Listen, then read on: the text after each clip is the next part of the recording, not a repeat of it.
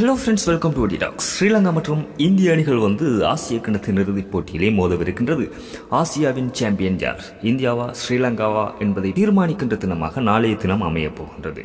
ஸ்ரீலங்கா அணியினை பொறுத்தமட்டில் பலம் வாய்ந்த பாகிஸ்தான் அணியினை வீழ்த்தி அப்படியே இறுதிப் போட்டிக்குள் நுழைந்திருக்கின்ற அணி.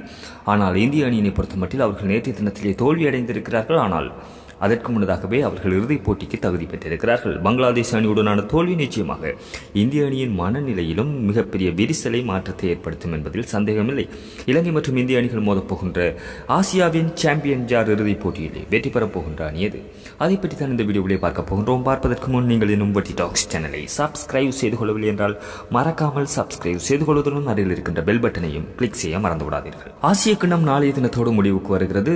பலம் வாய்ந்த நான்கு அணிகள் இந்த தொடரில் மோதியிருந்தன. ஸ்ரீலங்கா பாகிஸ்தான் பங்களாதேஷ் இந்தியா என்று பலம் வாய்ந்த அணிகள் எல்லாம் மோதி இருக்கின்ற இந்த தொடரிலே ஆப்கானிஸ்தான் அணியும் ஒரு பலமான அணியாக தான் இருந்திருந்தது ஆனால் இந்த இடத்திலே புதிய வரவாக வருகை தந்திருந்த நேபாள் அணிக்கு தான் மிகப்பெரிய ஏமாற்றமாக அமைந்திருந்தது. இருந்தாலும் அவர்களும் தாங்கள் விளையாடிய போட்டிகளிலே மிகச்சிறப்பாக செயற்பட்டிருந்தார்கள். இந்த அடிப்படையில் நாளைய தினத்திலே இந்திய மற்றும் இலங்கை அணிகள் மோதப்போகின்ற ஆசியாவின் சாம்பியன் போட்டியிலே வந்து எந்த அணி வெற்றி பெறுவதற்கான வாய்ப்புகள் அதிகம் இருக்கிறது என்று பார்த்தால் இலங்கை அணி இந்திய அணி இரண்டும் பலம் வாய்ந்த அணிகளாகத்தான் இருக்கின்றன இலங்கை அணியினை பொறுத்தமட்டில் அவர்களுடைய துடுப்பாட்டம் கடந்த போட்டியிலே மிகச்சிறப்பாக ஈடுபட்டிருந்தது மிகச்சிறப்பாக சேசிங் செய்திருந்தார்கள். மிகச்சிறப்பான முறையிலே துடுப்படுத்த ஆடியிருந்தார்கள். சரித் அசலங்க குசல் மெண்டிஸ் போன்றவர்கள் எல்லாம். ஆனால் மத்திய வரிசையில் இன்னும் பல குறைபாடுகள் இருக்கத்தான் செய்கிறது. டசும் சானக்கு தனஞ்சேடி சில்வா துனித் வெள்ளாளுகே போன்றவர்களால் துடுப்பாட்டத்தில் பெரிதளவில் சோபிக்க முடியாமல் போயிருந்தது கடந்த போட்டியிலே. ஆனால் டசும் சானக்குவை பொறுத்தமட்டில் இந்த தொடர்பூராகவும் அவரினால் பெரிதளவில் ஓட்டங்களை குவிக்க முடியாமல் தான் இருக்கிறது.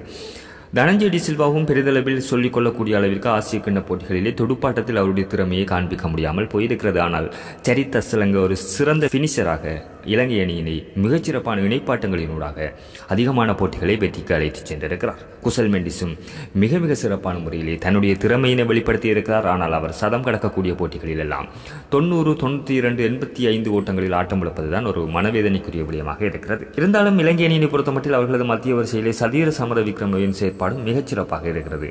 குசல் மெண்டிஸுடன் இணைந்து மிகச்சிறப்பான முறையிலே இணைப்பாட்டத்திலே கலக்குகிறார். ஆனால் இலங்கை அணியின் ஆரம்பம்தான் சற்று தடுமாற்றத்தை எதிர்கொண்டிருக்கிறது. கடந்த போட்டியில் குசல் பெரேரா உள்ளிருக்கப்பட்டிருந்தால் அதிரடியாக துடுப்படுத்த ஆடியிருந்தார் குசல் பெரேரா. ஆனால் துரதிர்ஷ்டவசமான ரன் அவுட் மூலமாக அவர் ஆட்டம் இழந்திருந்தமை மிகப்பெரிய ஏமாற்றமாக போயிருந்தது. பத்தும் நிசங்கா இன்னும் அவர் தனது துடுப்பாட்டத்தில் கவனம் செலுத்த வேண்டியதும் இலங்கை அணிக்காக ஓட்டங்களை குவிக்க வேண்டிய தேவையும் அதிகபட்சம் இருக்கிறது. நாளைய போட்டியிலேனும் பத்தும் நிசங்கா கலக்குவார் என்று எதிர்பார்க்கலாம். குசல் ஜனித் பெரேராவும் நாளைய தினத்திலே கை கொடுத்தால் இலங்கை அணிக்கு நாளைய தினம் ஆசிய கிண்ணத்தை சுவீகரிக்கக்கூடிய ஒரு தினமாக மாறிப்போகும் என்பதில் சந்தேகமில்லை. இலங்கை அணியின் பந்துவீச்சினை பொறுத்தமட்டில் மிகச்சிறப்பான முறையிலே செயற்பட்டிருக்கிறார்கள். குறிப்பாக சுழற்பந்து வீச்சாளர்களாக இருக்கட்டும் வேகப்பந்து வீச்சாளர்களாக இருக்கட்டும் ஓட்டங்களை கொடுப்பதில் மட்டுப்படுத்தி ஓரளவு சிக்கனமான முறையிலே பந்து வீச்சினை மேற்கொண்டிருக்கிறார்கள் மேற்கொள்வார்கள் என்றும் நாளைய தினத்தில் எதிர்பார்க்கலாம். கடந்த போட்டியிலே மத்தீஷ பத்திரனவின் ஓவரில் தான் அதிக அளவிலான ஓட்டங்கள் விட்டுக் கொடுக்கப்பட்டிருந்தன. ஆனாலும் தீர்க்கமான விக்கெட்டுகளை மத்தீஷ பத்திரன வீழ்த்தி கொடுத்திருந்தார். அந்த மத்தீஷ பத்திரன சிக்கனமான முறையில் ஓட்டங்களை கட்டுப்படுத்தினால் அவருடைய பந்து வீச்சு ஒரு மிகச்சிறப்பான ஒரு பந்து வீச்சாளர் ஒரு நாள் போட்டிகளிலும் இந்த மத்தீஷ பத்திரனவினால் ஜொலிக்க முடியும் என்பதிலும் சந்தேகமில்லை. இந்திய அணியினை பொறுத்தமட்டில் அவர்களுக்கு மிகப்பெரிய தலையீடியாக மாறியிருப்பதும் மிகப்பெரிய மன உளைச்சலுக்கு உள்ளாக்கியிருப்பதும் நேற்றைய தோல்விதான்.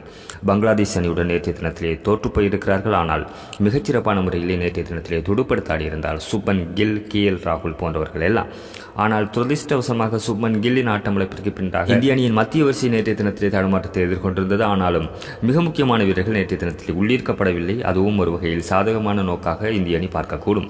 குறிப்பாக விராட் கோலி ஹர்திக் பாண்டியா போன்ற மிக முக்கியமான வீரர்கள் எல்லாம் நேற்றைய தினத்திலே விளையாடி இருக்கவில்லை நாளைய தினத்திலே இந்திய அணியின் மத்திய வரிசையும் ஒத்துழைத்தால் நிச்சயமாக இந்திய அணிக்கும் அதிகமான வாய்ப்புகள் இருக்கத்தான் செய்கிறது. இரண்டு பலம் வாய்ந்த அணிகள் நாளைய தினத்திலே மோதப்போகின்ற போட்டியில் காலநிலையும் வெகுவான கவனத்தை ஈர்க்கக்கூடும் என்று எதிர்பார்க்கலாம். எந்த அணி நாளைய தினத்திலே டொஸ் வின் பண்ண போகிறார்கள்? முதலாவதாக எதை சூஸ் பண்ண போகிறார்கள்?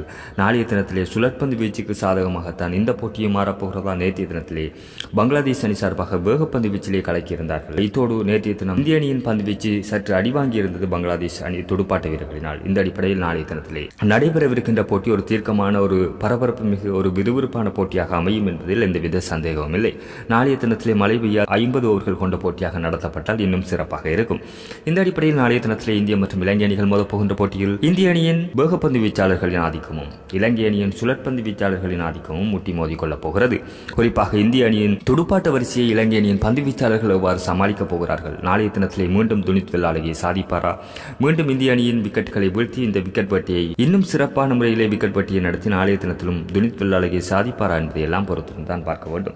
நாளைய தினத்திலே சரித்த சிலங்கவும் முழுமையாக பந்து வீசுவதற்கான வாய்ப்புகள் அதிகம் இருக்கிறது எது எவ்வாறு இருப்பினும் நாளைய தினத்திலே இந்திய அணி எவ்வாறாக இலங்கை அணியின் துடுப்பாட்டு வீரர்களுக்கு அச்சுறுத்தல் விடுக்கப் போகின்றது என்பதையும் இந்திய அணி எவ்வாறாக இலங்கை அணியின் விக்கெட் வேட்டையை நடத்தப் போகின்றது என்பதையும் பொறுத்திருந்தான் பார்க்க வேண்டியிருக்கிறது. நாளைய தினத்திலே இந்திய அணியா இலங்கை அணியா வெல்லப் போகின்றது? எந்த அணி ஆசியாவின் சாம்பியன் கிண்ணத்தை வெல்லப் போகின்றது என்பதையெல்லாம் மறக்காமல் கமெண்ட்ஸிலே பதிவு செய்யுங்கள். இதோடு நீங்கள் இன்னும் வட்டி டாக்ஸ் சேனலை சப்ஸ்கிரைப் செய்து கொள்ளவில்லை என்றால் மறக்காமல் சப்ஸ்கிரைப் செய்து கொள்வதுடன் அருகில் இருக்கின்ற பெல் பட்டனையும் கிளிக் செய்ய மறந்து விடாதீர்கள் நன்றி மக்களே.